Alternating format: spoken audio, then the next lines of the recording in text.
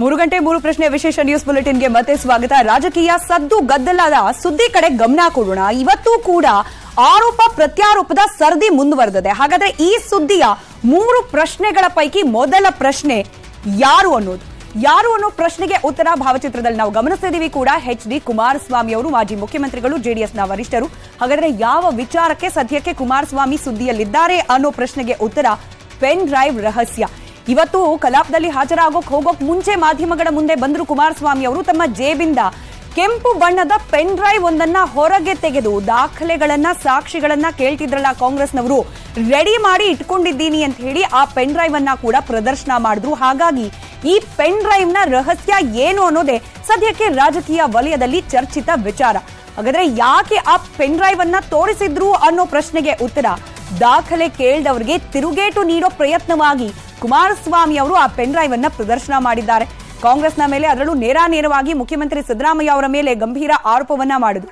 ಹಾಗೆ ಕೆಲ ಸಚಿವರುಗಳು ತಮ್ಮ ತಮ್ಮ ಇಲಾಖೆಯಲ್ಲಿ ಈಗ ಆಲ್ರೆಡಿ ಭ್ರಷ್ಟಾಚಾರದ ಕೂಪದಲ್ಲಿ ಮುಳುಗೋಗಿದ್ದಾರೆ ಅನ್ನೋ ಆರೋಪವನ್ನ ಕೂಡ ಕುಮಾರಸ್ವಾಮಿ ಮಾಡಿದ್ರು. ಹಾಗೆ ಆರೋಪ ಮಾಡಿದಾಗ ಕಾಂಗ್ರೆಸ್ನವರು ಕೇಳಿದ್ದು ಸಾಕ್ಷಿ ದಾಖಲೆ ಪ್ರೂಫ್ಗಳನ್ನ. ಅದಕ್ಕೆ ಉತ್ತರ ಅನ್ನೋ ರೀತಿಯಲ್ಲಿ ಕುಮಾರಸ್ವಾಮಿ ಅವರು ತೋರಿಸಿದ್ದು ಇವತ್ತು ಈ ಪೆನ್ ಡ್ರೈವ್ ಅನ್ನ. ಓರ್ವ ಸಚಿವರ ಭ್ರಷ್ಟಾಚಾರದ ಆಡಿಯೋ ಈ ಪೆನ್ ಡ್ರೈವ್ನಲ್ಲಿ ಸೇವ್ ಆಗಿದೆ ಅನ್ನೋ ಉತ್ತರವನ್ನ ಕೂಡ ಕುಮಾರಸ್ವಾಮಿ ಅವರು ಪೆನ್ ಡ್ರೈವ್ ಅನ್ನ ತೋರಿಸೋ ಸಂದರ್ಭದಲ್ಲಿ ಮಾತನಾಡಿದ್ದಾರೆ. ನಾವು ಬ್ಲೂ ಫಿಲಂ ಅನ್ನ ಟೆಂಟಲ್ ತೋರಿಸಿ ರಾಜಕೀಯಕ್ಕೆ ಬಂದವರಲ್ಲ ಅಂತ ಹೇಳೋ ಮೂಲಕ ಹಾಲಿ ಕಾಂಗ್ರೆಸ್ ಸರ್ಕಾರದ ಪ್ರತಿನಿಧಿಯೊಬ್ಬರಿಗೆ ಟಾಂಗ್ ನೀಡಿದ್ದಾರೆ. ಇನ್ನು ಟನಲ್ ಮಾಡೋಕೆ ಹೋಗಿ ಸಮಾಧಿ ಮಾಡಿದ್ರು ಅನ್ನೋ ಒಂದು ಮಾತನ್ನ ಕೂಡ ಪ್ರಸ್ತಾಪ ಮಾಡ್ತಾ, ಕೆಲವೊಂದಷ್ಟು ವರ್ಗಾವಣೆಗಳ ಉಲ್ಲೇಖವನ್ನ ಕೂಡ ಮಾಡ್ತಾ ತಮ್ಮ ಹಿಂದಿನ ಹೇಳಿಕೆಗಳಿಗೆ ಸಮರ್ಥನೆಯನ್ನ ಮಾಡಿಕೊಂಡಿದ್ದಾರೆ ಕುಮಾರಸ್ವಾಮಿ. ಇಂಧನ ಇಲಾಖೆಯಲ್ಲಿ ಆದ ಒಂದು ಟ್ರಾನ್ಸ್ಫರ್ಗೆ ಹತ್ತು ಕೋಟಿ ರೂಪಾಯಿಯನ್ನ ಪಡೆದುಕೊಳ್ಳಲಾಗಿದೆ ಅನ್ನೋದನ್ನ ಕೂಡ ಉಲ್ಲೇಖ ಮಾಡಿದ್ದಾರೆ. ಕುಮಾರಸ್ವಾಮಿ ಅವರ ಮಾತಿನ ಜೊತೆ ಜೊತೆಗೇನೆ ಜೆಡಿಎಸ್ ತನ್ನ ಅಧಿಕೃತ ಟ್ವಿಟರ್ ಖಾತೆಯಲ್ಲೂ ಕೂಡ ಒಂದಷ್ಟು ಉಲ್ಲೇಖಗಳನ್ನ ಮಾಡ್ತಾ ಕುಮಾರಸ್ವಾಮಿ ಅವರ ಈ ಧ್ವನಿಗೆ ಮತ್ತಷ್ಟು ಧ್ವನಿಗೂಡಿಸಿದೆ ಇನ್ನು ಕುಮಾರಸ್ವಾಮಿ ಅವರು ಪೆನ್ ಡ್ರೈವ್ ಕುರಿತಾಗಿ ಹಾಗೆ ತಮ್ಮ ಮೇಲೆ ಹಿಟ್ ಅಂಡ್ ರನ್ ಅನ್ನೋ ಆರೋಪ ಬಂದ ಕುರಿತಾಗಿ ಉತ್ತರ ಕೊಟ್ಟಿದ್ದೇನು ಅವ್ರ ಮಾತಿನಲ್ಲೇ ಕೇಳೋಣ. ದಿನ ಬೇಕು ಅಂದ್ರಲ್ಲ ರೆಡಿ ಮಾಡಿ ಇಟ್ಕೊಂಡಿದ್ದೀನಿ. ರೆಡಿ ರೆಡಿ ಮಾಡಿ ಇಟ್ಕೊಂಡಿದ್ದೀನಿ ಬ್ರದರ್ ನಾನು ಸುಮ್ಮ ಸುಮ್ಮನೆ ಚರ್ಚೆ ಮಾಡಲ್ಲ. ಪಾಪ ನಮ್ಮ ಹತ್ರಲ್ಲೇ ಬೆಳ್ಕೊಂಡು ಕೆಲವು ಹೋಗವೆ. ಇವತ್ತು ಜನಕ್ಕೆ ಹೇಳಿಕೆ ಕೊಟ್ಟಿರೋದು ನೋಡಿದೀನಿ, ನಮ್ಮಿಂದಲೇ ಬೆಳೆದವು. ನನ್ನ ಬಗ್ಗೆ ಚರ್ಚೆ ಮಾಡೋದಕ್ಕೆ ಪಾಪ ಅವ್ರನ್ನ ಉಪಯೋಗ ಮಾಡ್ತಾವ್ರೆ. ಹಾಂ? Audio brother audio. ಅದು ಬೇಡ, ಅವೆಲ್ಲ ಟೈಮ್ ಬಂದಾಗ ಹೇಳೋಣ ಬ್ರದರ್ ಕೇಳ್ತಾರಲ್ಲ? ಕೇಳ್ತಾವ್ರಲ್ಲ? ವರ್ಗಾವಣೆ ತಂದಿದೆ ಮೇಡಮ್. ವರ್ಗಾವಣೆ ತಂದಿದೆ ಪೆನ್ ಡ್ರೈವ್ ಇದು. ನಾನೇ ಎಲ್ಲೋ ರಾಜಕಾರಣಕ್ಕೆ ಬರೋದಕ್ಕಿಂತ ಮುಂಚೆ, ರಾಜಕಾರಣಕ್ಕೆ ಬರೋದಕ್ಕಿಂತ ಮುಂಚೆ ರೌಡಿಗಳಿಗೆ ಬಾಟ್ಲು ತಂದು ಕೊಡ್ತಾ ಇದ್ದೇನಲ್ಲ ನಾನು. ಕಷ್ಟಪಟ್ಟು ಜೀವನ ಮಾಡಿ ಬಂದಿರೋರು ನಾವು. ಅದು ಬ್ಲೂ ಫಿಲಮ್ನಲ್ಲೆಲ್ಲ ಹಳ್ಳಿಲಿ ಟೆಂಟಲ್ಲಿ ತೋರಿಸ್ಕೊಂಡು ಬಂದಾರಲ್ಲ ನಾವು. ಮಾತಾಡಕ್ಕೆ ಒಂದು ಹಿತಿಮಿತಿ ಇರಲಿ ನನ್ನ ಬಗ್ಗೆ. ಅದೆಂಥದ್ದು ನಾನು ವೆಸ್ಟ್ ಎಂಡಲ್ಲಿ ಈಗಲೂ ರೂಮ್ ಇದೆಯಪ್ಪ? ಏನು ಈಗಲೂ ಅಡ್ಡ ಇಟ್ಕೊಂಡಿದ್ದೀನಾ ಆ ರೂಮಲ್ಲಿ ನಾನು ಅಲ್ಲಿ ಹೋಗಿ ಎಷ್ಟು ಗಂಟೆಗೆ ಹೋಗಿ ರೆಸ್ಟ್ ರೂಮ್ಗೆ ಹೋಗ್ಬೇಕು? ಏನು ಮಾಡಬೇಕು? ಇವ್ರ ತಾ ಅರ್ಜಿ ಹಾಕಬೇಕಾ ನಾನು? ಇವ್ರಿಂದ ಕೇಳಬೇಕಾ ನಾನು? ನಿನ್ನೆ ಎರಡು ಟ್ರಾನ್ಸ್ಫರ್ ಆಗವೆ. ಎನರ್ಜಿ ಡಿಪಾರ್ಟ್ಮೆಂಟ್ನಲ್ಲಿ ಒಂದೊಂದಕ್ಕೆ ಹತ್ತತ್ತು ಕೋಟಿ. ಅವನು ಟ್ರಾನ್ಸ್ಫರ್ ಮಾಡಲ್ಲಿ ಹೋಗಿರೋನು ಹೋಯ್ತಾವನಲ್ಲ ಈಗ. ಅವನಿಗೆ ದಿವಸದ ಆದಾಯ ಐವತ್ತು ಲಕ್ಷ. ಕಲೆಕ್ಷನ್ ಕೆಣಕ್ ಬೇಡಿ ಪದೇ ಪದೇ ನನ್ನ ನಾನು ಬಾಯಿ ಚಪ್ಪಲಿಕ್ಕೆ ಇವೆಲ್ಲ ಮಾತಾಡಲ್ಲ. ಕುಮಾರಸ್ವಾಮಿ ಅವರು ಯಾವಾಗ ಇಂಧನ ಇಲಾಖೆಯಲ್ಲಾದ ಎರಡು ವರ್ಗಾವಣೆ ಬಗ್ಗೆ ಮಾತನಾಡ್ತಾರೋ ಇಂಧನ ಸಚಿವ ಕೆಜೆ ಜಾರ್ಜ್ ಕೂಡ ಇದಕ್ಕೆ ಕೌಂಟರ್ ರಿಯಾಕ್ಷನ್ ಕೊಟ್ಟಿದ್ದಾರೆ. ಏನ್ ಮಾತನಾಡಿದ್ದಾರೆ? ಜಾರ್ಜ್ ಕೇಳೋಣ.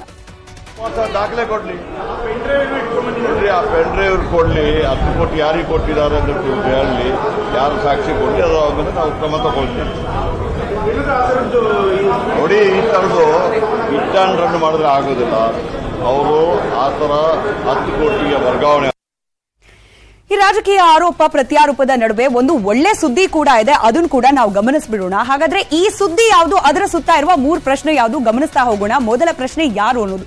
ಯಾರು ಅನ್ನೋ ಪ್ರಶ್ನೆಗೆ ಉತ್ತರ ಸ್ಪೀಕರ್ ಯು ಟಿ ಖಾದರ್. ಹಾಗಾದ್ರೆ ಯಾವ ವಿಚಾರಕ್ಕೆ ಖಾದರ್ ಅವರು ಈಗ ಸುದ್ದಿಯಾಗಿದ್ದಾರೆ? ಏನ್ ಮಾಡಿದ್ರು ಅನ್ನೋ ಪ್ರಶ್ನೆಗೆ ಉತ್ತರ ಬೇಗ ಬಂದವರಿಗೆ ಬಹುಮಾನವನ್ನ ಘೋಷಿಸಿದ್ದಾರೆ. ನಿನ್ನೆಯಿಂದ ಕಲಾಪ ಅಧಿಕೃತವಾಗಿ ಪ್ರಾರಂಭವಾಗಿದೆ. ಆ ಕಲಾಪದಲ್ಲಿ ಹಾಜರಾದ ಶಾಸಕರು, ಅದರಲ್ಲೂ ಇನ್ ಟೈಮ್ ಕಲಾಪದಲ್ಲಿ ಹಾಜರಾದ ಶಾಸಕರುಗಳ ಹೆಸರನ್ನ ಓದ್ ಹೇಳಿ, ಅವರಿಗೆ ಬಹುಮಾನವನ್ನ ನೀಡೋದಾಗಿಯೂ ಕೂಡ ಹೇಳಿದ್ದಾರೆ.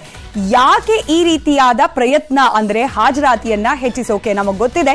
ನಮ್ಮ ಜನಪ್ರತಿನಿಧಿಗಳಿಗೆ ಸೆಷನ್ಗೆ ಹೋಗಿ ಜನರ ಸಮಸ್ಯೆ ಬಗ್ಗೆ ಚರ್ಚೆ ಮಾಡಲಿಕ್ಕೆ ಯಾವ ಪ್ರಮಾಣದ ಆಸಕ್ತಿ ಇದೆ ಅಂತ ಹೇಳಿ, ಪ್ರತಿ ಬಾರಿ ಅಸೆಂಬ್ಲಿ ಮುಗಿದ ನಂತರದಲ್ಲಿ ಹೊರಬೀಳುವಂತಹ ಹಾಜರಾತಿಯ ದಾಖಲೆಗಳು ಆ ಒಂದು ಉತ್ಸಾಹಕ್ಕೆ ಸಾಕ್ಷಿ ಆಗ್ತಾ ಇದೆ. ಹೀಗಾಗಿ ಈ ಬಾರಿ ಹೇಗಾದ್ರೂ ಮಾಡಿ ಶಾಸಕರ ಹಾಜರಾತಿಯನ್ನ ಹೆಚ್ಚು ಮಾಡಬೇಕು ಅನ್ನೋ ಪ್ರಯತ್ನವಾಗಿ ಈ ರೀತಿಯಾಗಿ ಒಂದು ಪುಟ್ಟ ಪ್ರಯತ್ನವನ್ನ ಮಾಡಿದ್ದಾರೆ ಯು ಟಿ ಖಾದರ್ ಅವರು.